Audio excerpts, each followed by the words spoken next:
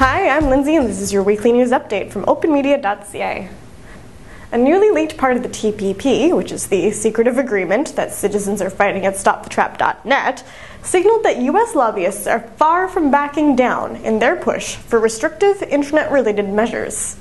So, some background. A few weeks ago, the US Trade Rep proposed a new copyright provision for the TPP after tens of thousands of citizens and a diverse coalition of groups voiced their concerns. Noting our distaste for things like content blocking and the threat of fines, go figure, they put together a new provision that they claimed was far less extreme. So, when that provision was announced, we were, don't get me wrong, very pleased that the USTR was taking action based on citizen outcry. We love when we know that the pro internet community is being heard.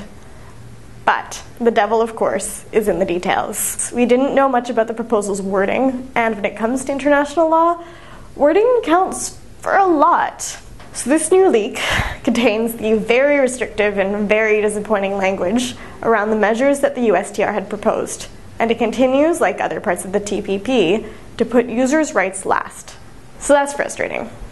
And that's not even the whole story. US reps appear to be going on a lobbying tour of TPP negotiating countries traveling to the more internet friendly places like Malaysia and Vietnam, which recently proposed very reasonable revisions that would prevent the TPP from being able to totally replace national level internet governance.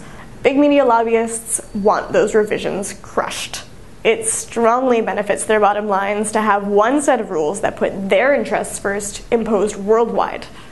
Which is why citizens need to take a stand and remind our governments that they must put the public interest first. So let's get louder. We know that the lobbyists behind the TPP can hear us. Now we need to keep up the momentum and we need to make our voices impossible to ignore.